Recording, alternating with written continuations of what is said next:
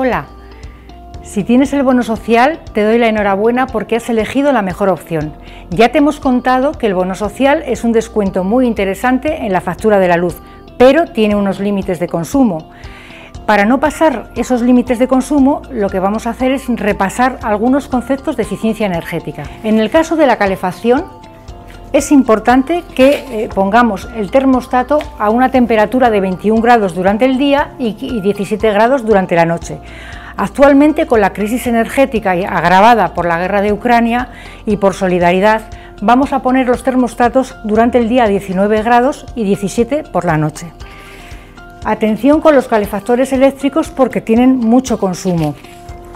Al oscurecer es importante bajar las persianas y cerrar las cortinas y las alfombras también ayudan a mantener el calor.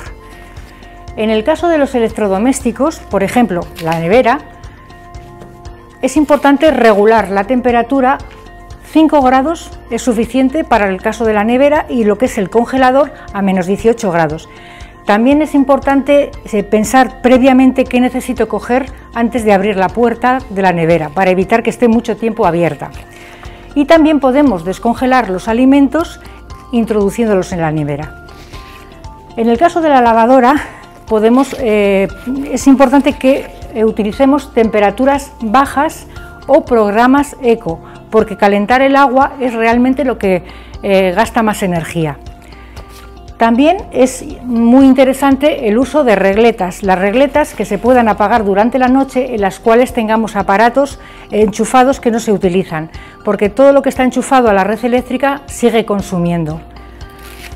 Con la cocina podemos, eh, lo más aconsejable es utilizar la cocina de inducción o el microondas en lugar del horno. El horno es un aparato que consume mucha energía. Y por último, en el calentador o termoeléctrico es importante que regulemos la temperatura a 40 grados y además podamos poner algún programador de horas en el cual podamos poner unas horas con más temperatura y otras con menos temperatura. Si todos estos consejos los llevamos a la práctica, vamos a notar en nuestro consumo un descenso y, por supuesto, en nuestra factura. Por lo tanto, ¿cuál es el consejo que más te ha interesado?